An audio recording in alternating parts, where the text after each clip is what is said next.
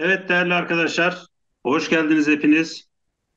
Şu an sesimde ve görüntümde bir problem yoktur sanırım değil mi arkadaşlar? Bir dönüt verirseniz sevinirim.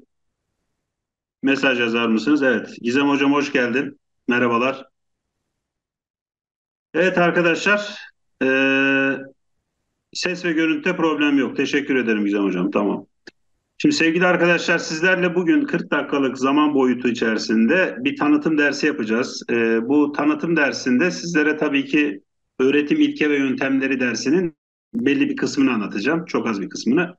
Normal e, süre zarfında 30 saate yakın bir ders. Her şeyden önce kendimi kısaca bir tanıtayım sizlere. İsmim Erol, soyadım Can. Yaklaşık 15 yıldır öğretim ilke yöntemleri ve program geliştirme, bunun yanı sıra sınıf yönetimi, materyal geliştirme, derslerine giriyorum arkadaşlar. Ankara'da yaşıyorum. Tekuzam ailesi olarak sizlerle bugün biraz önce de bahsettiğim gibi bir e, kısaca bir tanıtım dersi yapacağız. Sizlerle tanışmış olacağız. Sizlerin de umarım e, 2024 yılı KPSS hazırlık e, süreciniz güzel geçer. Herkes istediği puanı, puanı alır, atanacağı yere atanır diye umut ediyorum. Sizler de umut ediyorsunuz değil mi arkadaşlar? Bir problem yoktur sanırım inşallah. Güveniyorsunuz kendinize hepiniz. Ee, branşlarınız şöyle bir yazabilirsiniz. Bir görebilirim arkadaşlar. Branşlarınız e, genel itibariyle nedir? İnşallah hepiniz istediğiniz puanı alırsınız diye temenni ediyorum. Sosyal bilgiler Berna Hocam. Evet. Sosyal bilgiler başka?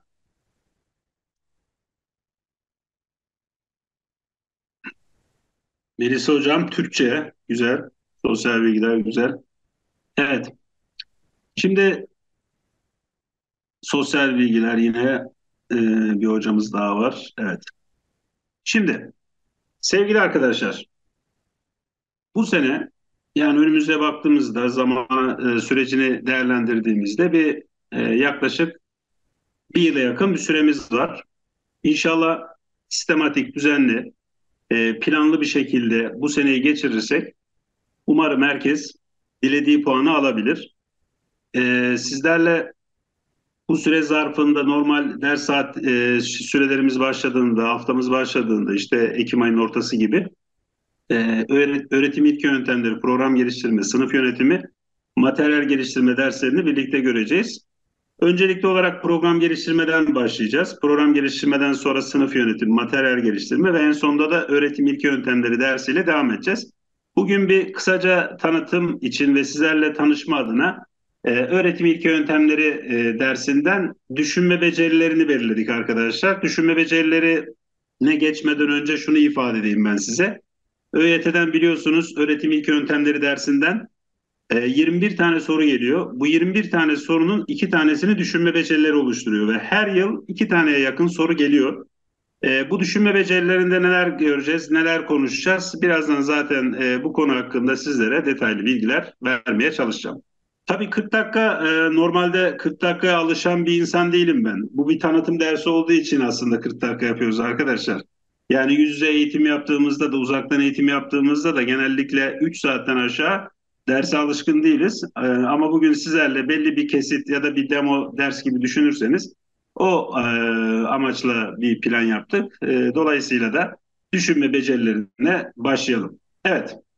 Her şeyden önce düşünme nedir diye sorduğumda e, aklınıza ne geliyor arkadaşlar? Düşünme deyince Şimdi ben uzaktan eğitim derslerinde de böyle sadece konuşan ben olmak istemiyorum. Sizlerin de böyle sanki sınıf ortamında birlikteymişiz gibi katılımınızı beklerim. E, düşünme deyince e, zihinsel süreçleri anlıyoruz değil mi arkadaşlar? Yani e, burada beyinle ilgili bir süreci ifade ediyoruz. E, bilişle ilgili bir süreci ifade ediyoruz. Zihinle ilgili bir durumu ifade ediyoruz. Dolayısıyla düşünme becerileri de bunların içerisinde geçen önemli bir başlık. Şimdi düşünme becerileri denildiğinde bizim öğretim ilke yöntemleri dersinde aklımıza gelebilecek düşünme becerileri hangileridir? Ve en önemlisi de e, nedir? Onları kısaca bir konuşmaya çalışalım sizlerle arkadaşlar. Bakın bunların en başında yaratıcı düşünme, yansıtıcı düşünme, eleştirel düşünme, metabilisel düşünme. Bakın burada ÖSYM, ÖSYM son 10 yıla özellikle baktığınızda arkadaşlar bunları soruyor. Yani ilk 4 düşünme becerisini soruyor. Hocam diğerleri önemli mi? Şimdi diğerlerinden de çok nadiren soru geldi. Mesela baktığımızda hangilerinden geldi? Bir tane geldi. Iraksak düşünmeden gelmişti. Bir sorun içerisinde yakınsak düşünmeyi de soruyordu. Şu girişimcilik de son zamanlarda gelmeye başladı. Karar verme diye bir beceri var. Karar verme becerisi. Bugün e, zamanımız hepsine yetmeyebilir yani. Bunların hepsini anlatmaya yetmeyebilir. E, 40 dakikalık süre zarfında neler yapabilirsek onları konuşmaya çalışalım. Sizlerle bunları irdeleyelim sevgili hocalarım. Şimdi yaratıcı düşünmeyle sizlerle başlayalım. Yaratıcı düşünme deyince ne anlıyoruz? Evet, ne anlıyorsunuz arkadaşlar? Size bir örnek olay anlatsam. Mesela diyelim ki Mert diye bir çocuk var. Mert diye bir çocuk var ya da Ayşe diye bir çocuk var. Dünyaya yeni gelen bir kardeşi var. Yeni e, dünyaya yeni gelen kardeşinden esinlenerek bebek her ağladığında yani nasıl bir çocuksa bu Mert ya da Ayşe helal olsun. E, bebek her ağladığında kendi kendine sallanan bir beşik tasarlıyor. Bakın normalde bildiğimiz e, bebek beşikleri e, standarttır yani ama öyle bir mekanizma geliştiriyor ki bu Mert adındaki çocuk hatta ÖSYM'de bu örnek olay üzerinden bir soru sormuştu. Bebek her ağladığında kendi kendine sallanan bir beşik tasarlıyor. Ve burada bir yaratıcılık yok mu? Var. Bazen sizler şiir yazarsınız veya bir makale yazarsınız veya bir ürün ortaya koyarsınız. Hep yaratıcı düşünmenin izlerini görürüz burada. Özellikle yaratıcı düşünmede şöyle bir mantığım var sevgili hocalarım. Yeni bir düşünce, yeni bir ürün veya farklı, orijinal, özgün bir şey ortaya koyabilme. Mesela proje çalışmalarına baktığımızda özellikle proje tabanlı öğrenmeyi normal ders süresi içerisinde göreceğiz e, dersler başladığında. E, bir ürün ortaya koymak vardır. Bu ürünün özgün olması gerekir, orijinal olması gerekir. Orijinal olmasının yanı sıra da farklı olabilmesi gerekir. İşte bu farklılık aslında buluş gücü olan, yenilikler peşinde koşan, yeni çözüm önerileri geliştirebilen özgün, orijinal düşüncelerin ortaya çıkmasını sağlayan bir süreç söz konusu. Yaratıcı düşünmede unutmayalım sevgili hocalarım, farklılık, özgünlük, sıra dışılık ve orijinallik söz konusudur. Yani kime aittir bu? Başkasına mı aittir yoksa kişinin kendisine mi aittir? Tabii ki kişinin kendisine ait bir durumdur. Yaratıcı düşünmenin en belirgin özelliği bu. Şimdi yaratıcı düşünme biraz uzun bir konu arkadaşlar. Sadece bu boyut üzerinden tabii ki ele almayacağız yaratıcı düşünmeyi. Mesela yaratıcı düşünmenin burada aşamaları karşımıza çıkacak. ÖSYM bu aşamalardan iki tane soru sordu. Bu aşamaları da sizlerle kısaca görmeye çalışalım. Peki ne gibi aşamaları var? Bunlardan biri hazırlık, diğeri kuluçka, bir diğeri aydınlanma, bir sonraki slaytta göreceğiz. Bir de değerlendirme boyutu var. Şimdi bir yaşanmış bir olay var. Belki duymuşsunuzdur ama o olay biraz uzun. İsterseniz kısa kısaltarak ben size ifade edeyim. Amerika'da bir yerde yaşanmış bir olaydan bahsediliyor. Bu olayda e, hapishanede e, bir evlat var. Onun babası da yaşlı bir insan. E, şimdi bunlar çiftçilikle uğraşıyorlar. Çiftçilikle uğraşıyorlar. E, ama adam yaşlı olduğu için oğlu da hapishanede olduğundan dolayı kendi başına bazı şeyleri yapamıyor. En sonunda evlat hapishaneden babasına bir mektup yazar. Der ki baba bizim evimizin etrafında e, işte e, cesetler var. Ve bu cesetler e, yıllardır sana söylemedim ama sen polise, FBI'ye haber ver. Hemen gelip o cesetleri oradan çıkarsınlar. Sen de böyle bir şokla karşılaşma. Zaten adam şoku yaşıyor zaten bu mektupta bunu söyleyince. Neyse polisler falan geliyor. E, kazıyorlar, eşiyorlar. Hani bir tarlayı düşünün şöyle tam ekini ekebilecek hale getirirsin ya. Ama onun için de uğraşman gerekir. Traktör gerekir, bilmem ne gerekir. Güzelce ne polisler eşiyorlar, şey yapıyorlar. Bakıyorlar hiçbir ceset yok. Ya bizi oyaladın amca sen neden bizi çağırdın falan. En sonunda evlat tekrar babasına bir mektup yazıyor ve diyor ki babasına baba diyor sana ancak bu kadar yardımcı olabilirdim. Şimdi bakın burada bir yaratıcılık var mı arkadaşlar? Yani e, o yaşlı e, babasına, yaşlı e, işte e, babasına yardım etme sürecinde elinden gelen buydu. Dolayısıyla da o bir hazırlık geçirdi değil mi? O hazırlık süre zarfında bir e, düşündü. Acaba ne yapabilirim? Babama nasıl yardımcı olabilirim dedi. Tüm detaylarıyla düşündü, zihninden geçirdi, fikirler üretti Ama bir süre sonra kuluçka denilen bir aşama var. Bu uzun bir süredir. Bakın bu bir uzun süredir. Bazen şunu yaşar mısınız? Ders çalışırken de karşılaşmış olabilirsiniz. Ee, böyle ne bileyim bir soruyu çözmeye kalkarsınız ama çözümünü bir türlü e, bulamazsınız. Ne yaparsınız? Bir ara verirsiniz, bir elma yersiniz, bir çay içersiniz, e, dışarı çıkarsınız, yürürsünüz. İşte kuluçka dediğimiz ki tavuğun görselinden de zaten anlıyoruz.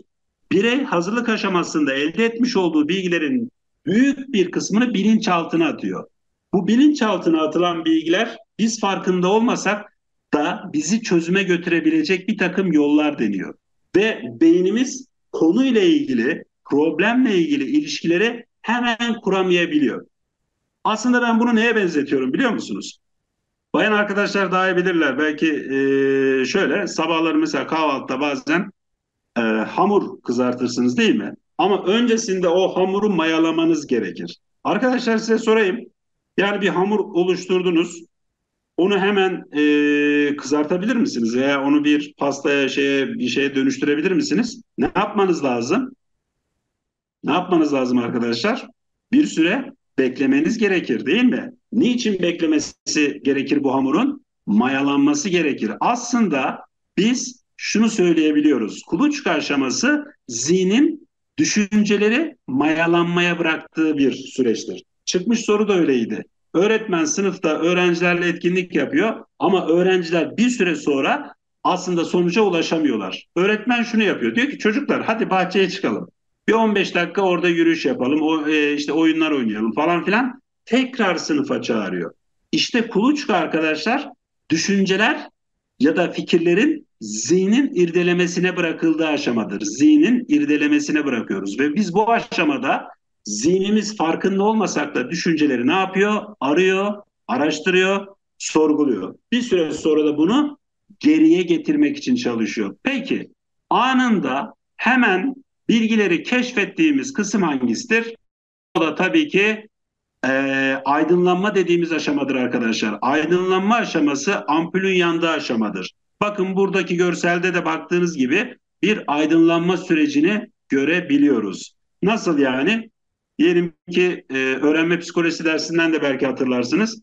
E, Arşimet duymuşsunuzdur. Bir gün işte hamamdayken suyun üzerinde tasın yüzdüğünü görüyor. Ne diyor?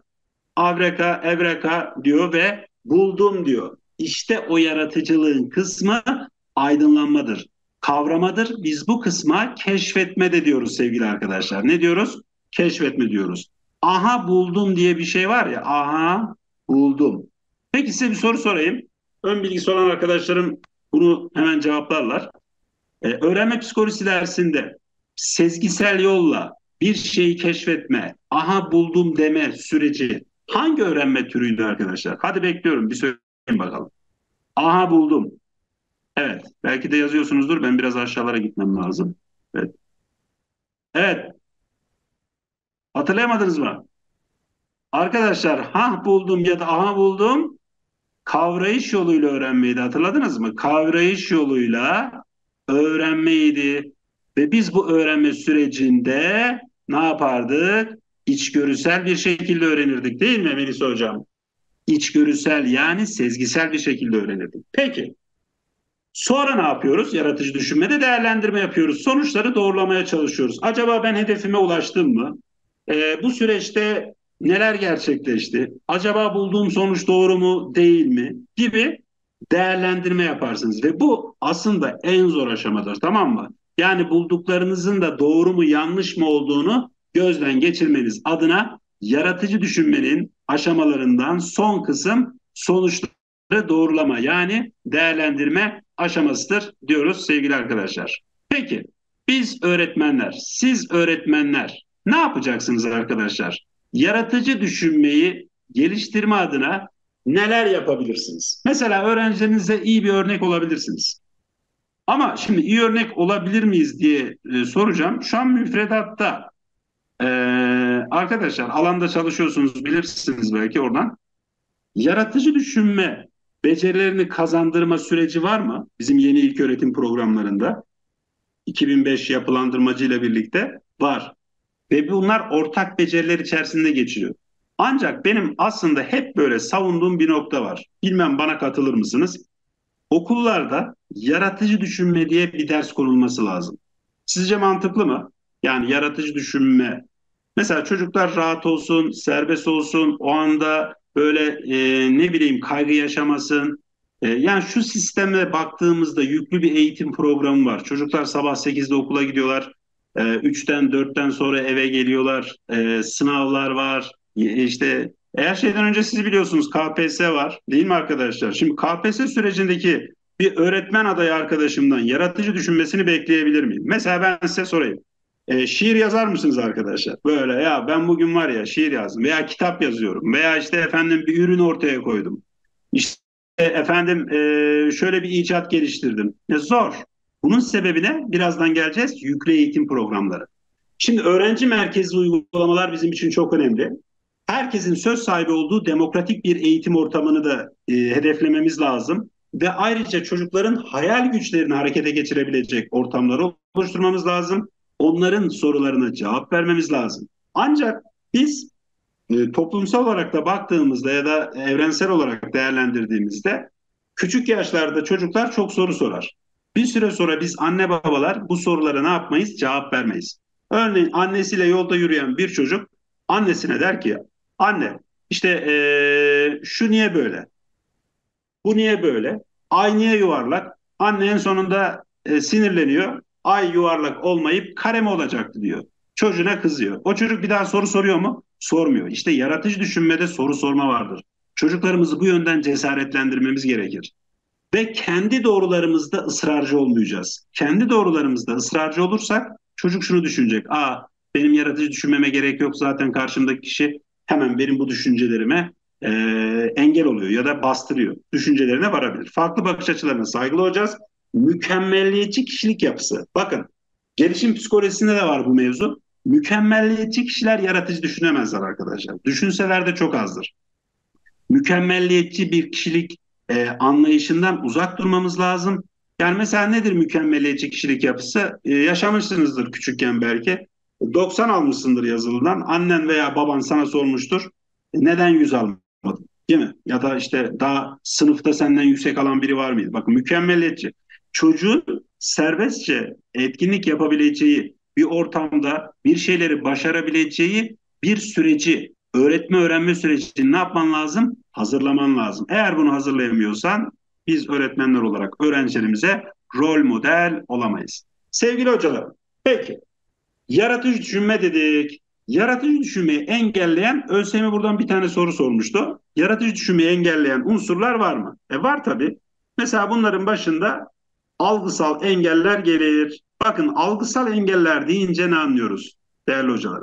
Algısal engeller dediğimizde anlayacağımız nokta şudur.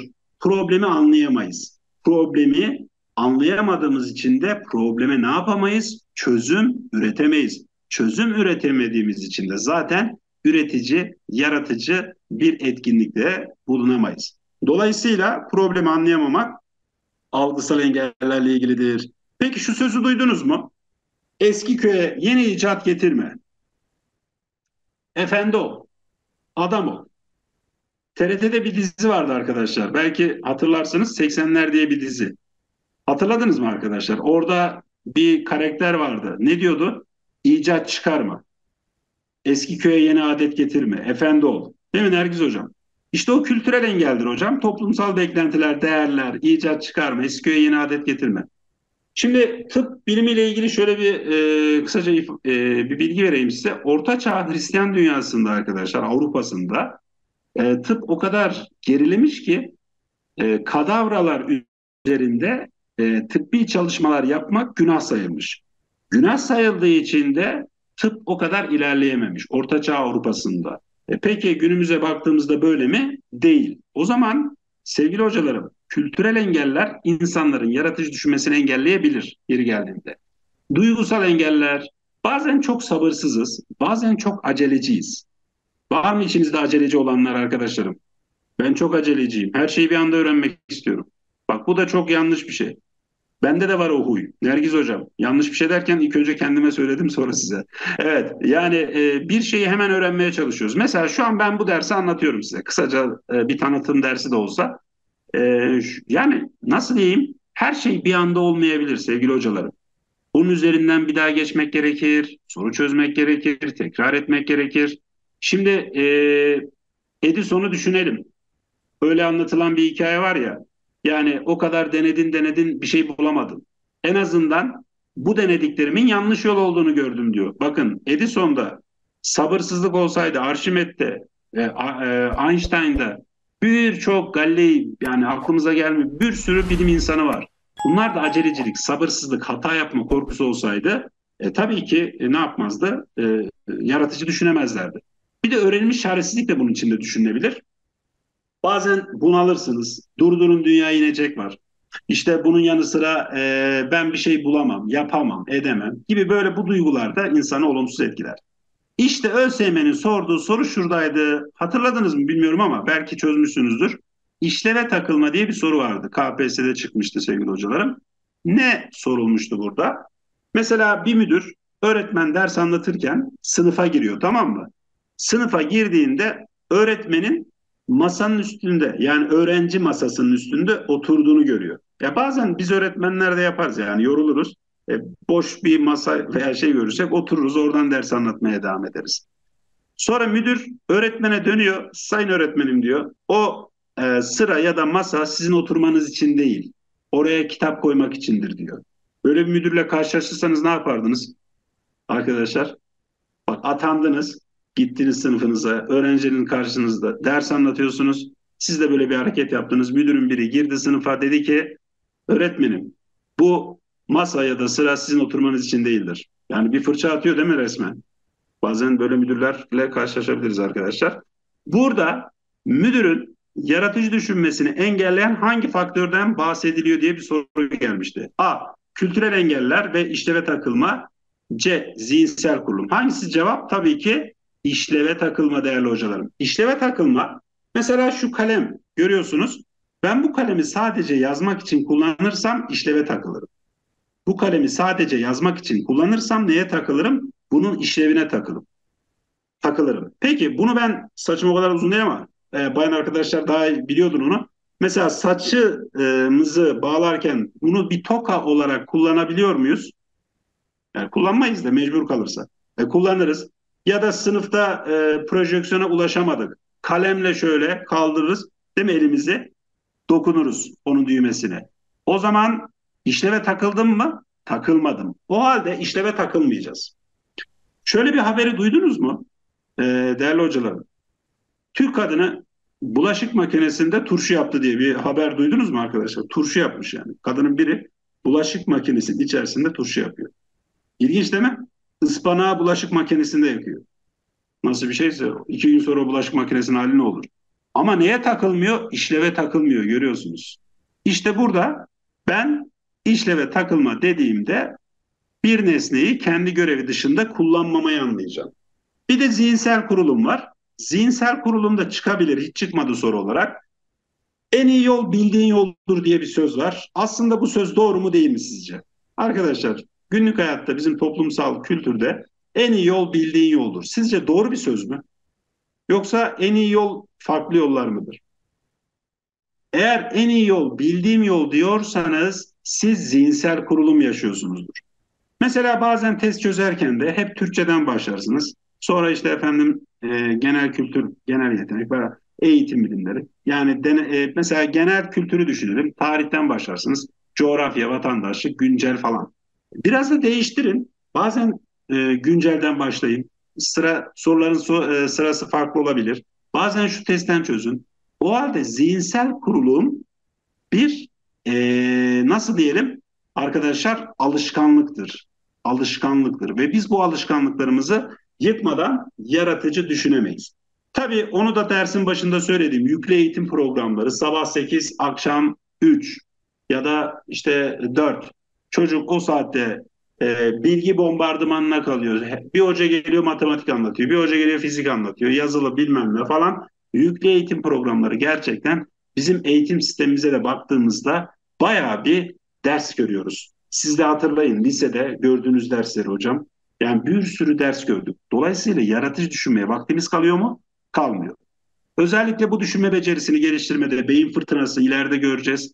Altı şapkalı düşünme, bunun dışında buluş stratejisi, araştırma inceleme stratejisi, istasyon tekniği, bunlar hep yaratıcı düşünmeyi geliştiren etkinliklerdir değerli hocalarım. Bunu da söylemiş olayım sizlere. Evet, bir sonraki slaytımıza geçmiş olalım. Şu ekranı temizledikten sonra arkadaşlar.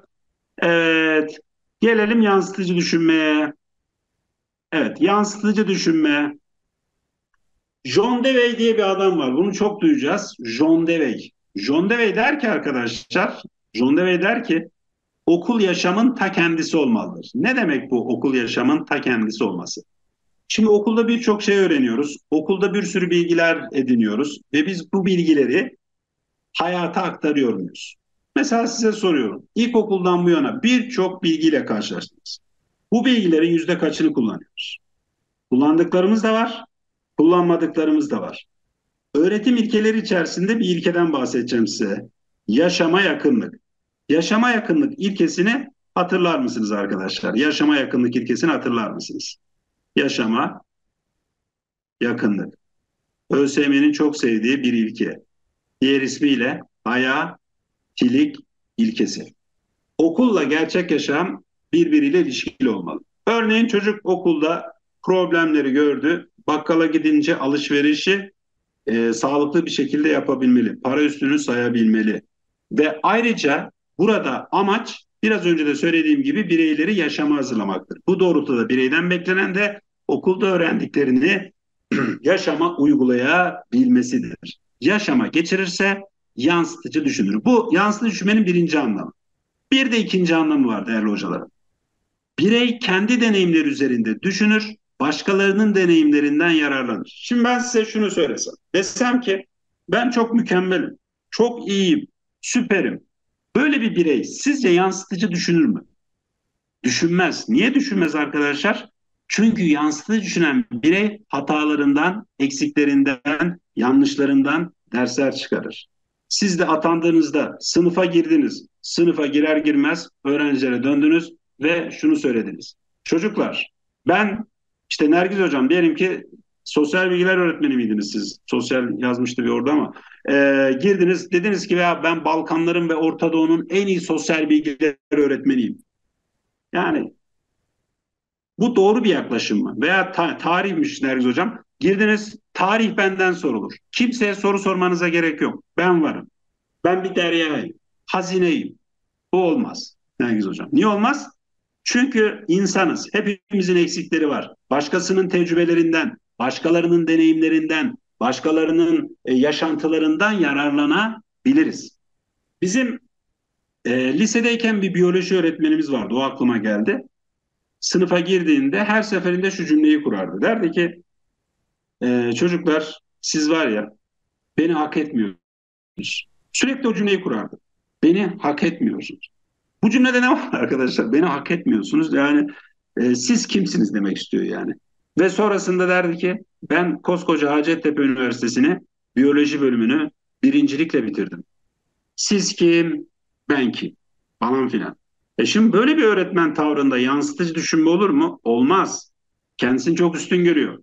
Dolayısıyla yansıtıcı düşünen birey mutlaka hataların olduğunu bilmeli, yanlışların olduğunu bilmeli ve bunlardan ne çıkarmalı? Ders çıkarmalı. Eğer bu dersi çıkaramıyorsa o kişi yansıtıcı düşünemez. O zaman sorularda karşımıza yansıtıcı ile ilgili şu iki kalıp çok çıkar. Bir, okulla gerçek yaşam arasında bağ kurmak. Birincisi bu. Ve okulda öğrendiklerimizi gündelik hayata taşıyabilmek, yaşama yakınlık ilkesi ve bunun yanı sıra transfer ilkesi de var. İkincisi bireyin hatalarından, eksiklerinden, yanlışlarından dersler çıkarmasıdır. Soru kalıpları hep böyle geliyor. Yani KPSS 2002 yılından beri, ya 2001 diyelim, KMS diye bir sınav vardı o zaman. Ee, 2023 yılına kadar baktığımızda yansıtıcı düşünmenin hep kalıp ifadeleri şu anlattığım iki cümlededir. Okulla gerçek yaşam arasında bağ kur. Bu birincisi. ikincisi ise bireyin eksiklerini, hatalarını, yanlışlarını görebilmesi. Peki şu anlatacağım örnek olayda yansıtıcı düşünme mi var, yaratıcı düşünme mi? Evet. Şu anlatacağım örnek olayda yansıtıcı düşünme mi var, yaratıcı düşünme mi var? Anlatıyorum olayı. Melisa Hocam, sizden verelim örneği.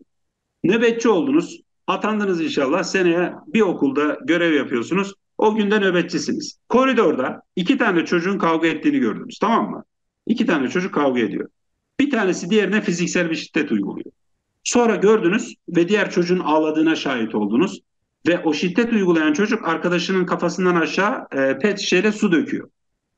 Gel, gelin bakalım. Gelin gelin gelin. Melisa hocam orada çok sinirlendi ve çağırdı iki öğrenciyle. Sen arkadaşına neden şiddet uyguluyorsun? Ama öğretmenim şöyle yaptı böyle yaptı. Gel gel gel. Sinirleniyor. Bir tokat. Öğrenciye yani vurmazsınız da öyle örnek olay da öyle geçiyor. Sonra e, su şişesini alıyor bak su öyle dökülmez böyle dökülür diyor. Bir tane daha tokat çakıyor gönderiyor. Ve e, buz gibi kesiliyor ortam koridor. Ama akşamleyin evine ya da öğleden sonra e, evine giderken Melisa öğretmen servise biniyor. Düşünüyor bugün ben ne yaptım? Hmm, o çocuk çok haksızdı. Arkadaşına şiddet uyguladı.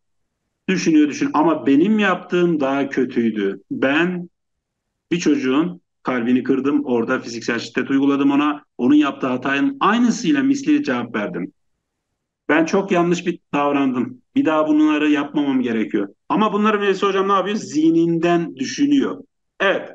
Ne diyorsunuz Nergiz Hocam? Şeyma Hocam? Yansıtıcı düşünme değil mi? Çok güzel. Güzel. Peki Mercedes otomobil e, markasını bilirsiniz. İnşallah hepinizin bir Mercedes olur. Olur mu arkadaşlar? Olur ya.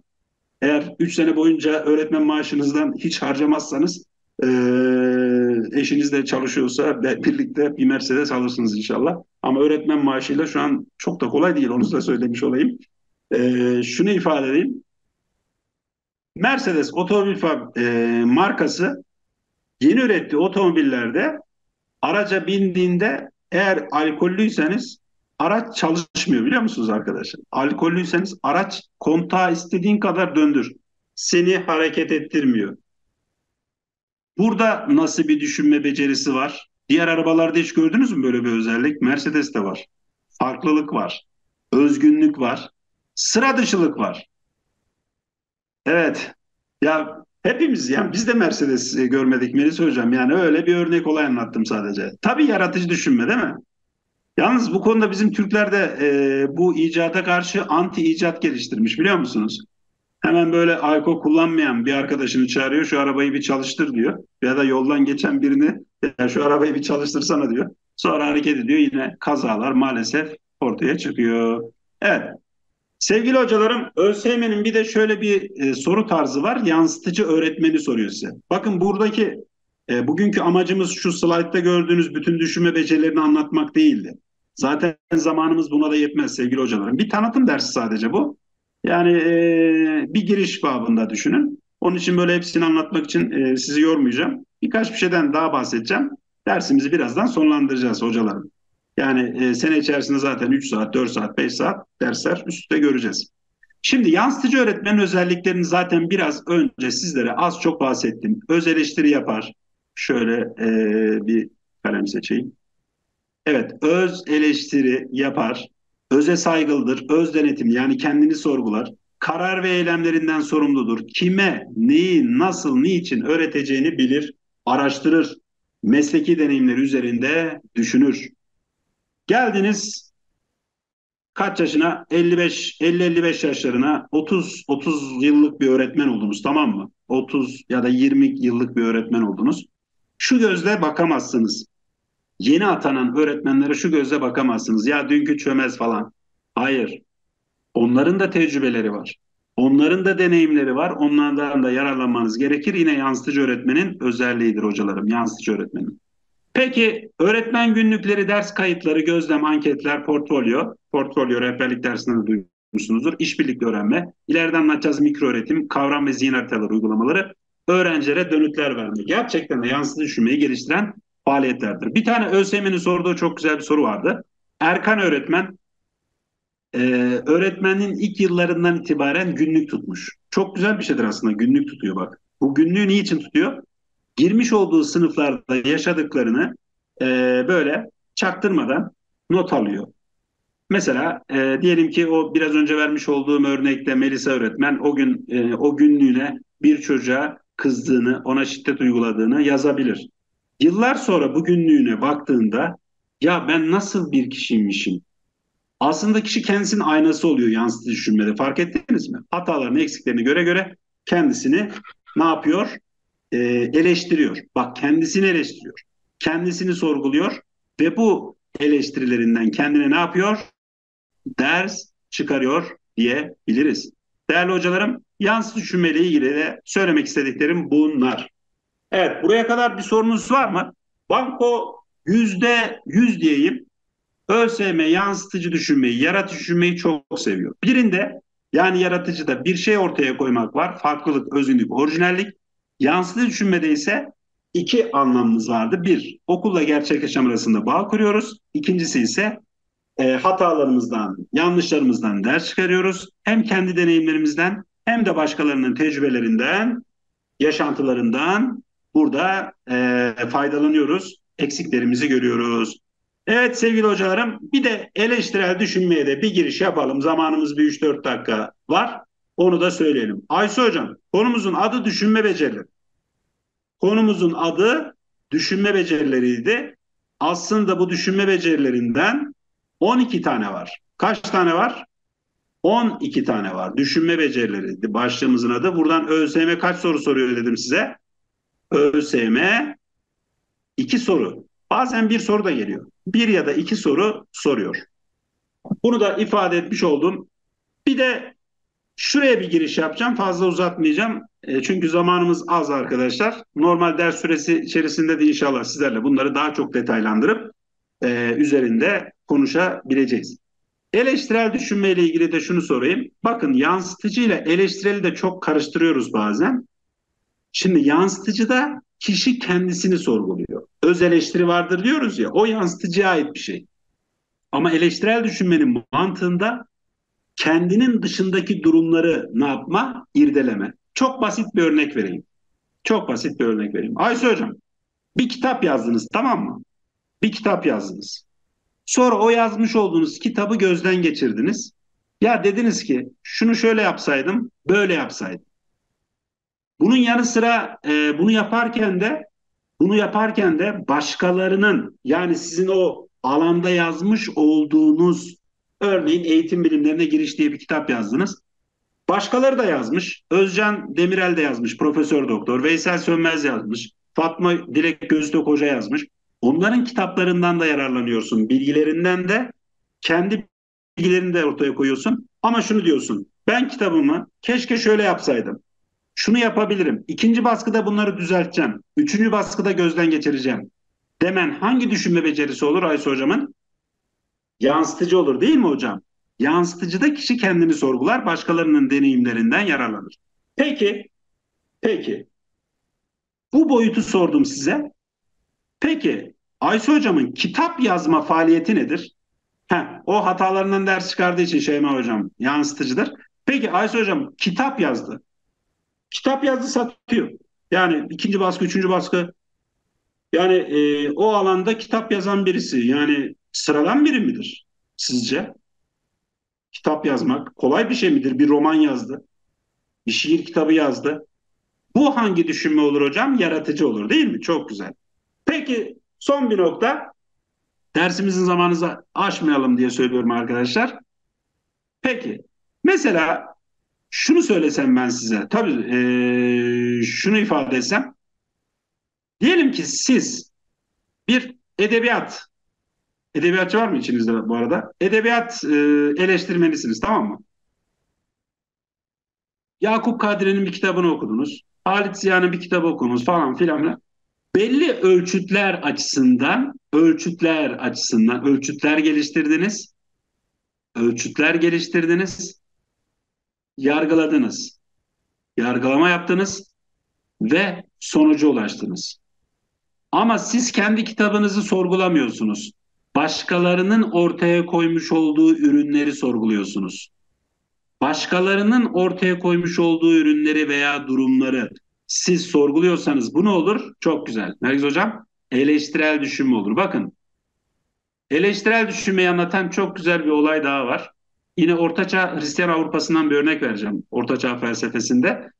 Ee, insanlar merak etmişler tamam mı? Atın ağzında, bildiğimiz atlar var ya, atın ağzında kaç tane diş var?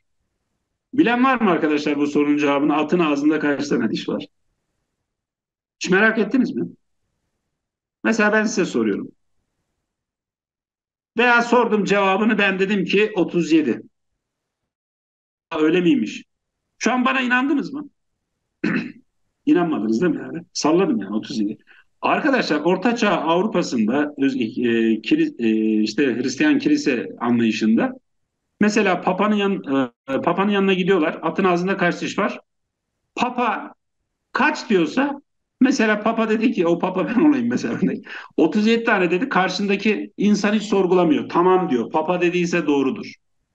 E şimdi böyle bir zihniyette sizce eleştirel düşünme olur mu? Yani her şey olduğu gibi kabullenen bir anlayışta, her şeyi e, kabullenen bir zihniyette eleştirel düşünme olur mu? Olmaz. Çünkü eleştirel düşünmede merak, şüphe, kuşku ve hiçbir şeyi olduğu gibi kabullenmemek, irdelemek, araştırmak değil mi? Sorgulamak vardır. Sevgili arkadaşlar, burada e, özetlersek düşünme becerileri diye bir üniteden bahsediyordum size. Normal ders süresi zarfında e, zaten 2-2,5 saat süren bir konu. Yani 2,5 ders falan zamanımızı alır. Ben bir sadece size bu düşünme becerilerin genel çerçevesini gösterdim. Bunlar içerisinde en önemlilerinin biraz önce de bahsettiğim gibi yaratıcı düşünme, yansıtıcı düşünme, eleştirel düşünme. Bir de metabilisel düşünme vardı. Onu da inşallah normal dersimizde işleriz. E, bu düşünme becerilerinden iki tane soru geliyor dediğim gibi. Önemli bir mevzu.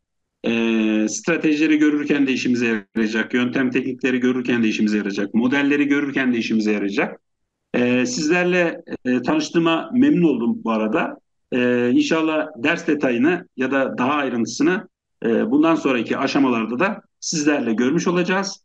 E, bundan sonra evet e, görüşmek üzere. Varsa sorularınızı cevaplayayım. Yoksa kendinize iyi bakın. Bu bir sadece ne, ne, nasıl diyelim bir e, ufacık bir bilgiydi anlattıklarım. Daha detayını normal ders süresi içerisinde göreceğiz. Esen kalın. Kendinize iyi bakın sevgili hocalarım. Bu bir fragman da aynen Şeyma Hocam dediğin gibi. Hepinize iyi akşamlar diliyorum. İyi çalışmalar.